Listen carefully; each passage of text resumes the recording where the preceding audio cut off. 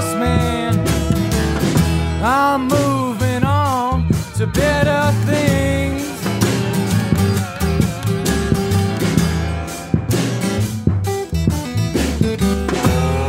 Mr. Boss man, i